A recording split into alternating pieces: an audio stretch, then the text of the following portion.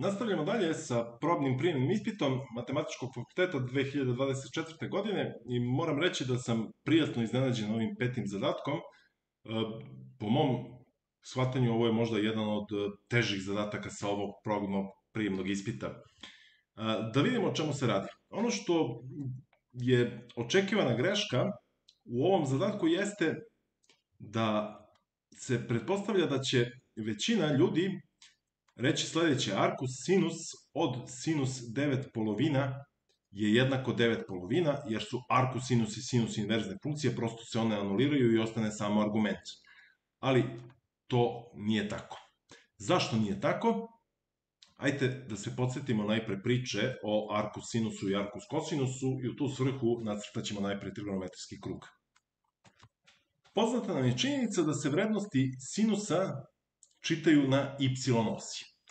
I takođe bi trebalo da nam je poznata činjenica da funkcija ima inverznu funkciju ukoliko je sama ona bijekcija.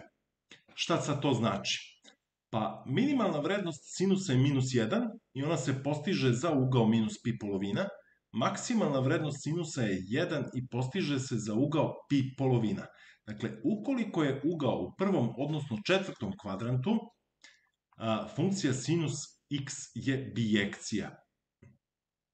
Evo, to ću i zapisati. Dakle, ako se sinus x definiše tako da preslikava segment minus pi pola do pi pola u segment minus 1, 1, tada je ona bijekcija.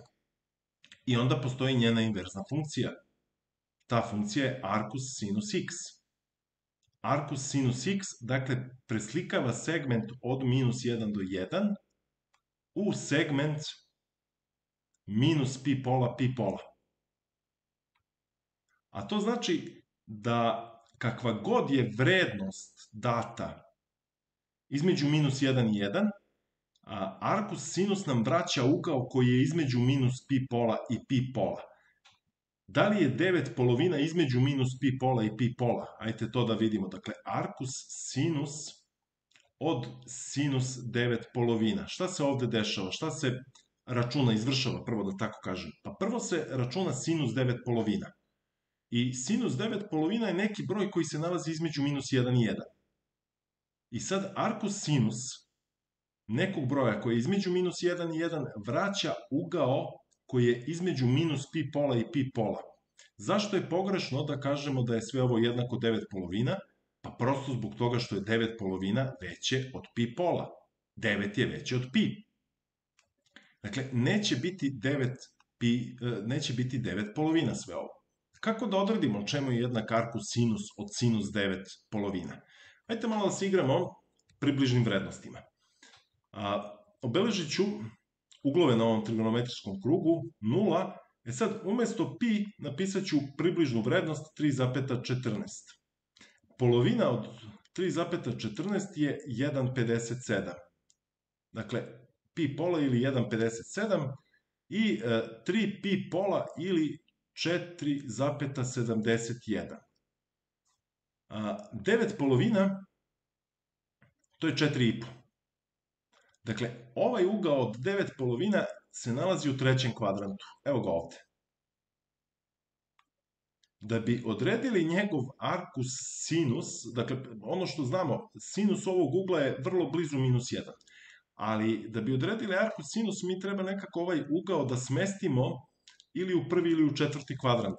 Naravno, pošto je vrednost e, negativna, vrednost sinus 9 polovina, to onda znači da će odgovarajući bit, ugao biti u e, četvrtom kvadrantu i to je baš ovaj ovde ugao. E sad, kako da dođemo do njega? Koji je to ugao? Pa, a, ovo je ugao pi minus 9 polovina. A, zašto? Šta znamo o sinus pi minus x? Koliko je sinus pi minus x? Po formulama za svođenje trigonometrijskih funkcija na uglove iz eh, prvog kvadranta, a kada se dodaje, odnosno oduzima celobrojni umnožak broja pi, funkcija ostaje ista, a ako pretpostavimo da je x neki ugao u prvom kvadrantu, pi minus x je tada u drugom kvadrantu i vrednosti su iste, vrednosti sinusa. Dakle, sinus od pi minus x je isto što i sinus x. Pa sad, ako nas zanima sinus 9 polovina, ta vrednost će biti ista kao i sinus od pi minus 9 polovina. Ono što mi tražimo jeste da ugao bude u prvom ili četvrtom kvadrantu, a ugao pi minus 9 polovina jeste u četvrtom kvadrantu. Dakle, ova funkcija arkosinus od sinus 9 polovina je isto što i arkus sinus od sinusa pi minus 9 polovina. E sad, ovaj ugao se nalazi u četvrtom kvadrantu, što znači da sada, uslovno rečeno, možemo da poništimo arkus sinus i sinus, te dobijamo da je arkus sinus od sinus 9 polovina zapravo pi minus 9 polovina. Vrlo, vrlo lepo i interesantno, jel? Šta se dešava sa arkus kosinusom? Ajmo da vidimo za arkus kosinus. A, kosinus, vrednosti kosinusa se čitaju na x osi. Što znači da ako hoćemo da definišemo inverznu funkciju za kosinus x, tada moramo a, napraviti da sam kosinus x bude bijekcija, a bit će bijekcija ukoliko dozvolimo da uglovi budu između 0 i pi, jer će u tom slučaju biti pokrivene sve vrednosti od minus 1 do 1 za kosinus. Dakle, ukoliko kosinus x definišemo kao funkciju koja preslikava segment od 0 do pi u segment minus 1 do 1, tada je kosinus x bijekcija, pa postoji inverzna funkcija arkus kosinus x, koja sada preslikava minus 1, 1 u segment 0 pi. I sad nas zanima koliko je to arkus kosinus od kosinus 15 polovina.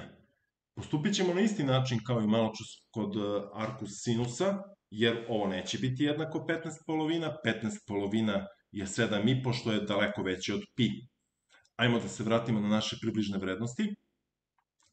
Dakle, 0, e, 2 pi to će biti 6,28 približno, pa kada dodamo još 1,57, to će biti 7, koliko je sad ovo, 70, 85 ako se ne varam, 7,85, a 15 polovina, to je 7,5. 7,5 je manje od 7,85, dakle 7,5 je ovde negde. I uh, ova vrednost se već nalazi u onom što je nama što nama i treba, dakle u prvom ili uh, u drugom kvadrantu, međutim moramo da napravimo da ovaj broj bude, da 7,5 bude uh, ovaj, između 0 i pi. Kako ćemo to da izvedemo? Pa prosto tako što ćemo od 7,5 oduzeti 2 pi. Oduzet ćemo 6,28. Vrednost kosinusa će biti ista. Dakle, možemo da napišemo da je sve ovo arkus kosinus od kosinus 15 polovina zapravo arkus kosinus od kosinusa 15 polovina minus 2pi. I sada je ovaj argument u prvom kvadrantu, uslovno rečeno arkus kosinus i kosinus se anuliraju, poništavaju, te je rezultat jednak 15 polovina minus 2pi. I sada konačno možemo da se vratimo na početak zadatka i da izračunamo vrednost ovog izraza. Ja ću sad pisati to dole. Dakle, 4 arkus sinus od sinus 9 polovina plus 2 arkus kosinus od kosinus 15 polovina jednako je 4 puta pi minus 9 polovina plus 2 puta 15 polovina minus 2 pi. Da vidimo šta smo dobili. 4 pi minus 18 plus 15 minus 4pi, sve ukupno minus 3. Baš ono što i treba da dobijemo, jer je tačan odgovor, odgovor pod B minus 3. Za slučaj da ste napisali da je arkus sinus sinus 9 polovina 9 polovina, dobili bi 4 puta 9 polovina plus 2 puta 15 polovina i gled čuda, posle skraćivanja i izračunavanja ovog izraza dobili bi 33. 33 je odgovor pod A, ali pogrešan. Nadam se da sam uspeo da vam objasnim zašto je rešenje ovog zadatka baš minus 3. Idemo na šesti. U šestom zadatku nas očekuje iracionalna nejednačina i naravno prvo što treba uraditi kad e, dobijemo da rešimo iracionalnu nejednačinu ili jednačinu, sasvim je sve jedno, jeste da se odredi domen, odnosno da se odredi kada ta jednačina ili nejednačina ima smisla.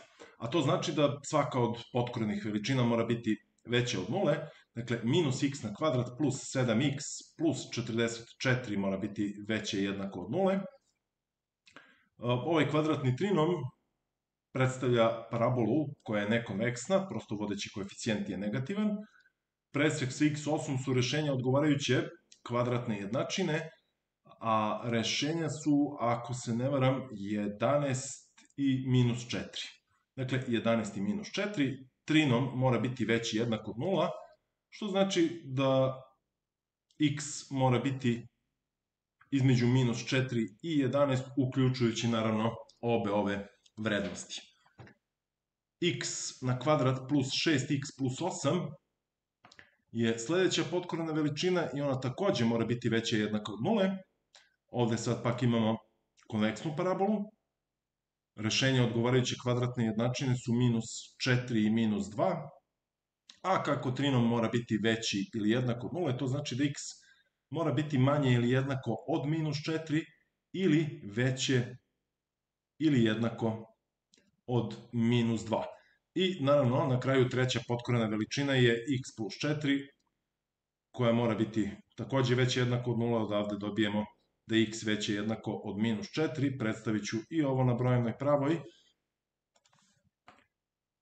Dakle, imamo ovakvu situaciju za treći kvadratni koren, samo da ovde obeležim minus 4, i sada je jasno da nam treba presek sva tri uslova.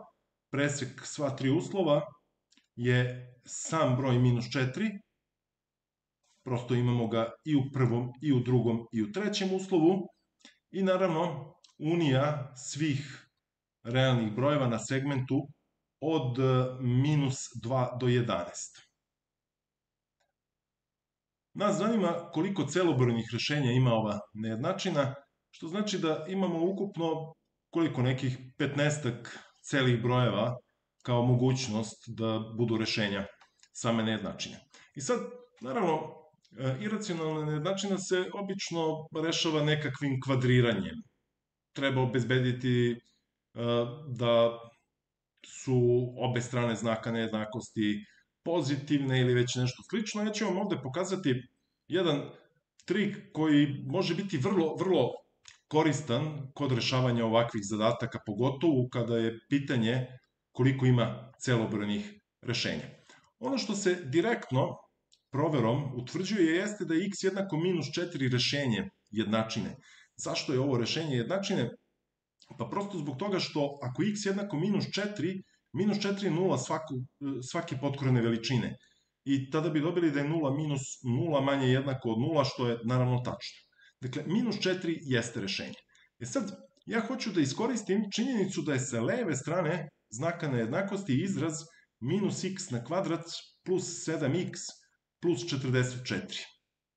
Minus koren iz x na kvadrat plus 6x plus 8. Šta mi je ideja? Pa, nejednakost će na domenu, dakle na ovom skupu od minus 2 do 11, biti uvek zadovoljeno u onom trenutku kada je ovaj izraz negativan ili nula. A kada će ovaj izraz biti negativan ili nula? Pa onda kada je prva potkorena veličina manja od druge potkorene veličine. Jer, recimo, ako imate da je ovo koren iz 6 minus koren iz 11, ovaj broj je negativan, ukoliko je za datu vrednost x i desna strana definisana, ta desna strana e, je ne negativna, dakle pozitivna ili nula, i ona će sigurno biti veća ili jednaka od ovog negativnog broja, šta god da je desno.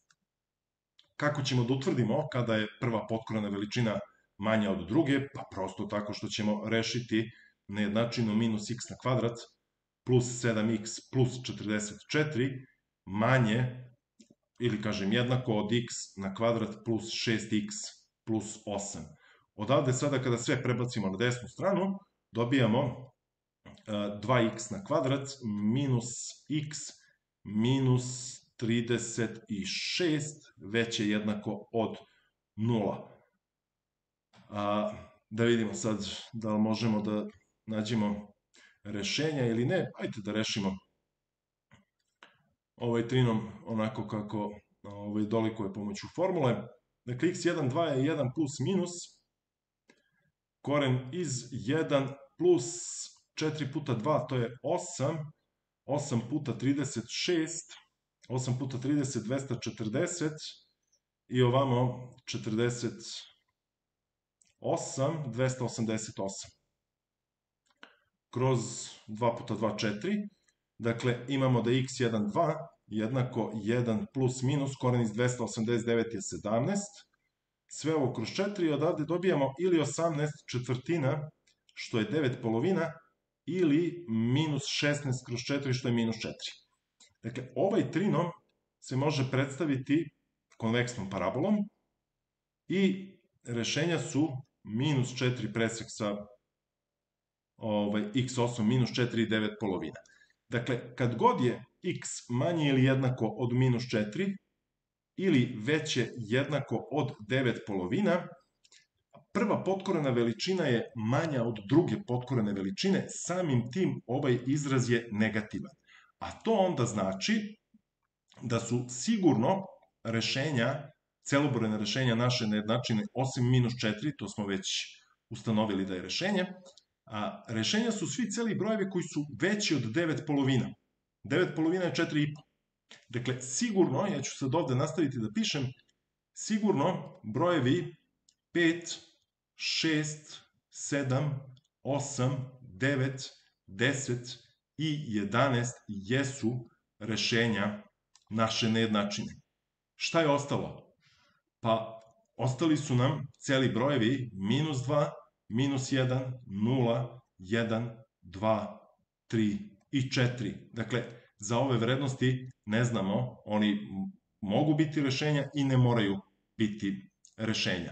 Kako sad možemo da ustanovimo da li jesu, da li nisu? Pa prosto možemo da direktno zamenimo ove vrednosti i da vidimo kakva će se nejednakost dobiti, tačna ili netačna. Ja to ostavljam vama da uradite, Dakle, sasvim je legitimno i po, po meni prilično jednostavno da ovih sedam vrednosti ubacite i da vidite kakva se nejednakost dobija. Da li je ona tačna ili nije tačna i na osnovu toga da odredite koliko rešenja ima. Mi za sada ovde imamo jedno, 2, 3, 4, 5, 6, 7, 8 rešenja. E sad, ako bi rešavali ovu nejednačinu onako kako treba da se rešava i kako je poželjno rešavati je, matematički ispravno, onda ćemo ovaj koren iz x plus 4 prebaciti na levu stranu. I sad, leva strana se može faktorizovati tako što se ovaj koren iz x plus 4 izvuče ispred zagrade. U zagradi će ostati od prvog kvadratnog korena 11 minus x, pa minus od drugog kvadratnog korena x plus 2 i minus 1.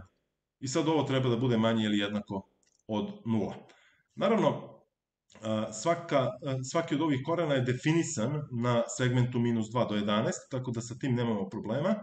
A kako znamo da je ovaj koren iz x plus 4 na skupu minus, 12, minus 2 do 11 pozitivan ili jednak nuli, to onda znači da sada ova druga zagrada mora biti manja ili jednaka od nule. Dakle, dobijamo da je koren iz 11 minus x pa pisat ću minus x plus 2, minus 1 manje ili jednak od 0 i sad naravno sve što je predznaka minus prebacujemo na desnu stranu, te dobijemo 11 minus x manje jednako od koren iz x plus 2 pa plus 1. Na skupu minus 2 do 11 obe strane su pozitivne, tako da možemo da kvadriramo čitavu nejednačinu. Dakle, nemamo dodatnih uslova jer smo već na početku rekli kom skupu x mora pripadati. I ovde sada dobijamo 11 minus x manje jednako od x plus 2 plus 1 plus 2 puta koren iz x plus 2. Kvadrat binoma sa desne strane. I sada ćemo sve što nije kvadratni koren prebaciti levo, tako da sa leve strane imamo 8 minus 2x manje ili jednako od 2 što množi x plus 2. Kada podelimo sa 2, dobit ćemo 4 minus x manje jednako od x plus 2 pod korena. I da se vratimo sad na ovaj skup vrednosti, leva strana, 4 minus x, je pozitivna ili nula za svako x iz ovog skupa za koje još treba da utvrdimo šta je rešenje.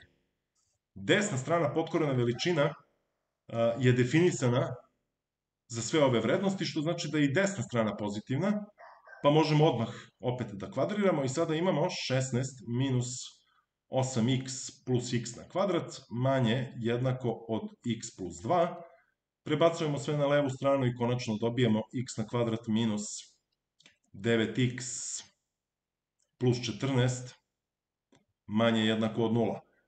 Ovo je sad konveksna funkcija, konveksna parabola, presečne tačke 0 i 3 noma su 2 i 7, manje jednako od 0, to znači da je x između 2 i 7.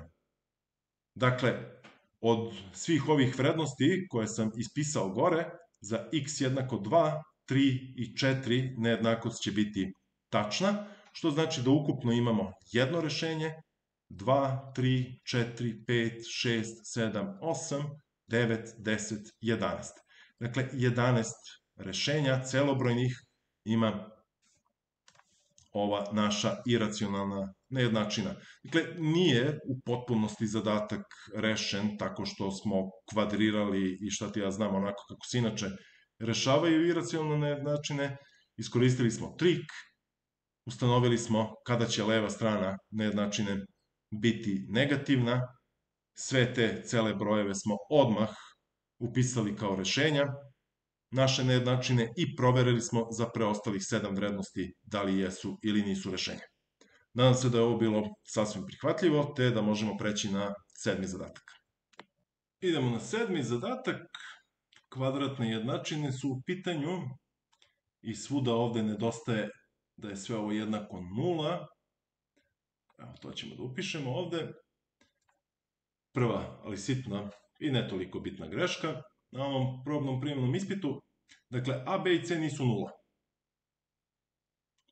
I sada zbir rešenja jednačine ax na kvadrat plus bx plus c jednako nula. Zbir rešenja ove jednačine je minus b kroz a. I on je jednak zbiru rešenja jednačine cx na kvadrat plus bx plus a jednako 0. Recimo da je ovo x1 prim plus x2 prim. Ovde je zbir rešenja minus b kroz c. Dakle, dato nam je da je minus b kroz a jednako minus b kroz c. Kako a, b i c nisu nula, to znači da a mora biti jednako c. Evo prvog zaključka da nastavimo dalje sa čitanjem. Proizvod rešenja ove jednačine, dakle x1, x2, to je c kroz a, je tri puta veći od proizvoda rešenja jednačine bx na kvadrat plus ax plus c jednako 0.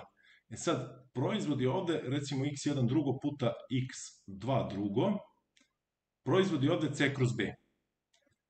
A, što znači da je C kroz A tri puta C kroz B. Šta sad ovo znači? Ovo znači da je B jednako 3A.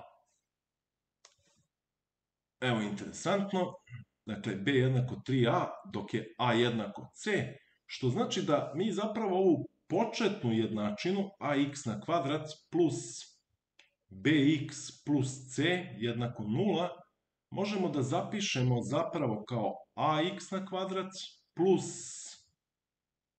3ax plus a jednako 0. I kada sve skratimo sa a, dobijemo konačno x na kvadrat plus 3x plus 1 jednako 0. Dakle, rešavamo Vijetovim formulama jednačinu x na kvadrat plus 3x plus 1 jednako 0, zbir rešenja ove jednačine je minus 3, proizvod rešenja je naravno 1. I sada treba odrediti zbir kubova. Dakle, x1 na treći plus x2 na treći. Zbir kubova rastavit ćemo na činjenac x1 plus x2, što množi x1 na kvadrat minus x1 x2 plus x2 na kvadrat. x1 plus x2, ovo je minus 3. Pišemo dakle minus 3 što množi. E sad, x1 na kvadrat plus x2 na kvadrat možemo da napišemo kao x1 plus x2 pa na kvadrat minus 2x1 x2 i imamo još minus x1 x2. Dakle, bit će minus 3x1 x2. I sad nastavljamo ovo da rešavamo. Minus 3 što množi e, minus 3 pa na kvadrat, to je 9, minus 3 puta 1, to je 3, minus 3 puta 6, minus 18 i dobili smo tačan odgovor u ovom sedmom zadatku. Samo mala zamerka i sugestija, ako već pričamo o jednačini, onda mora stajati jednako nula ili jednako već čemu god. Idemo na poslednji zadatak u ovom delu. Zadatak broj 8, naravno. Zadatak sa polinomima i zadatak, da tako kažem, za prvi razred srednje škole, mada se radi o trećem, ali verujem da i prvaci ovo mogu da urade. Šta se ovde dešava? A, poznato nam je da svaki polinom možemo da zapišemo u obliku q od x puta s od x plus r od x. Ukoliko je s polinom kojim delimo, q je količnik i r je naravno ostatak. r od x je manjeg stepena u odnosu na polinom kojim delimo u odnosu na s od x. I sad, mi ovde imamo da ako se deli sa x minus 2, ja ću to ovako tabelantno da rešim, dakle s od x, u prvom slučaju je x minus 2, ostatak r od x je 1. A, ako izaberemo da je x jednako 2, tada ćemo dobiti da je p od 2 jednako q od 2, nebitno šta god da je to, puta s od 2 ali S od 2 je 0. I ovo mora biti jednako R od 2. Dakle, R od 2 je 1. Idemo dalje. Deljiv je sa x plus 1. Dakle, ako delimo sa x plus 1, dobit ćemo ostatak 0. Shodno ovom razmišljanju od malo čas, p od minus 1 je jednako r od minus 1 i ovo je jednako 0. I znamo da pri deljenju sa x minus 3 dobijamo ostatak 2. Što znači da je P od 3 jednako R od 3 jednako 2. Od nas se traži da odredimo ostatak pri deljenju ovim polinomom.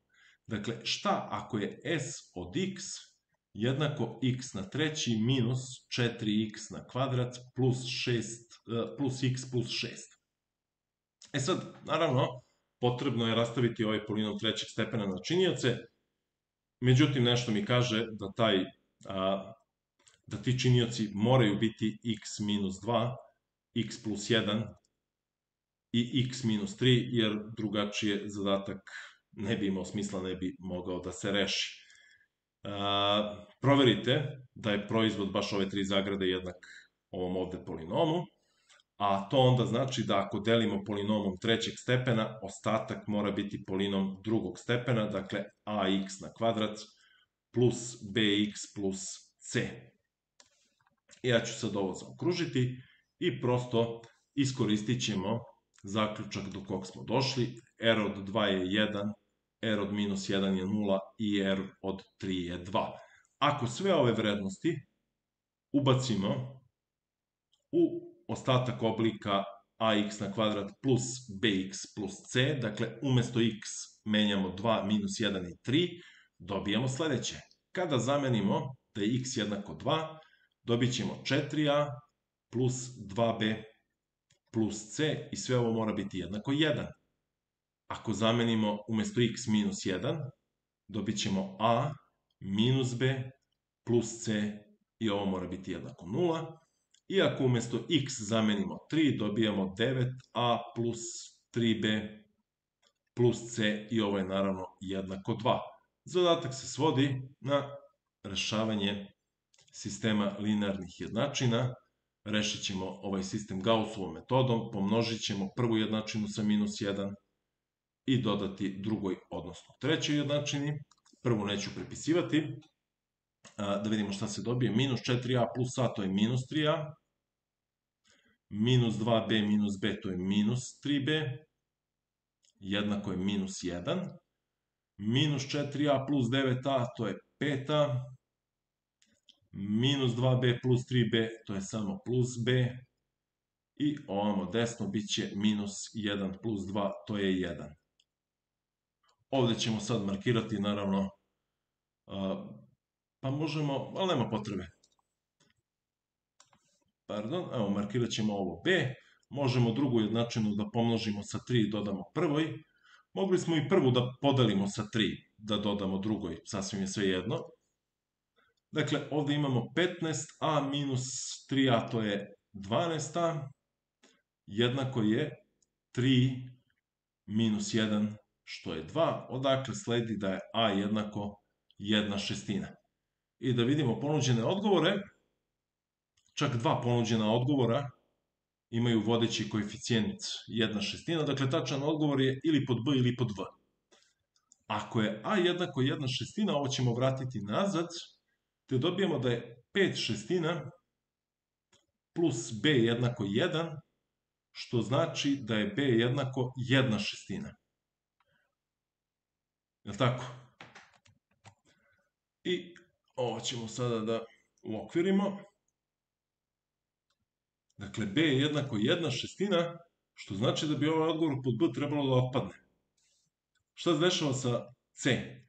C ćemo najjednostavnije izračunati iz ove druge jednačine. C je jednako B minus A, što nam daje da je C jednako 0.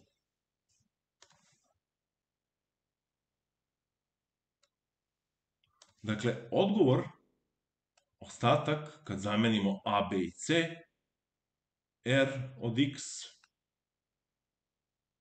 je jednako 1 šestina X na kvadrat, plus 1 šestina x i nema slobodnog člana.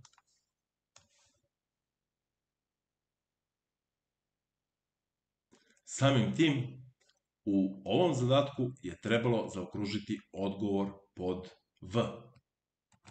Zašto to nije urađeno, ne umem da vam kažem, ali evo prvog zadatka gde tačan odgovor nije dobro obeležen. Vidjet ćemo u nastavku da ima još ovakvih zadataka. A do tada pozdrav!